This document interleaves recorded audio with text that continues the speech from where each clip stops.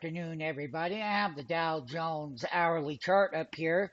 Dow Jones bull market run got back above the 27,000. The high up here was 27,204. Today's high reversal 27,188. The low 27,090.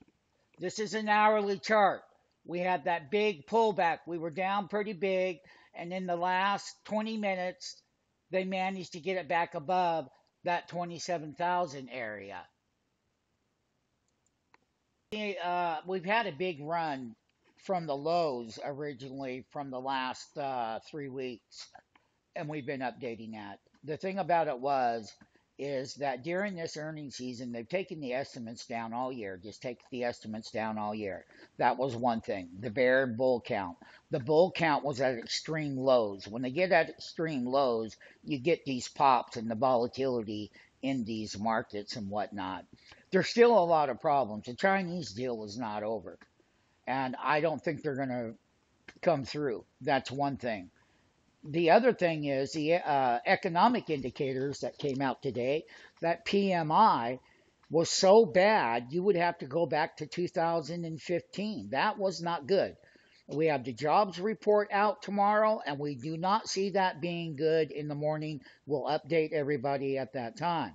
Now, having said that, um, the whole volume that has occurred over the last couple of weeks in the indexes have been extremely light volume. That is a very big concern. You did not, even though they were drifting higher and the algos were pumping the markets up, the machines, is, is that you did not have the buy side volume in the S&P, the Dow, or the NASDAQ.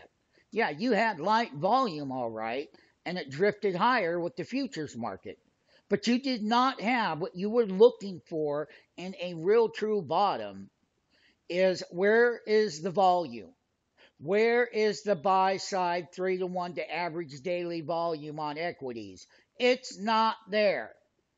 And it's not. So I just want to make sure that all of our traders um, outside of the United States that we have is, is that you understand that that's exactly, uh, once again, that's exactly what has been happening there and whatnot. So you know.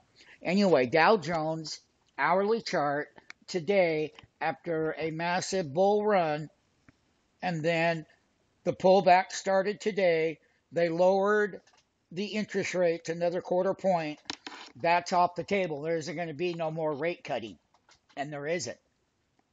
So now the markets are going to have to deal with what they're going to have to deal with. That will be the last rate cut, who knows how long, unless something was to get extremely bad. But nonetheless, at least now you can see where we're at as far as the volume goes on the Dow, everyone.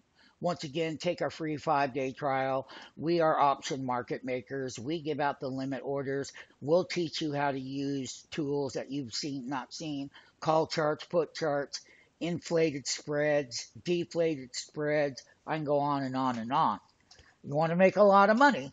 Well, you found the right place to do it. Dow Jones did have a nice pullback. Dow Jones update, hourly chart, Thursday intraday. Happy Halloween!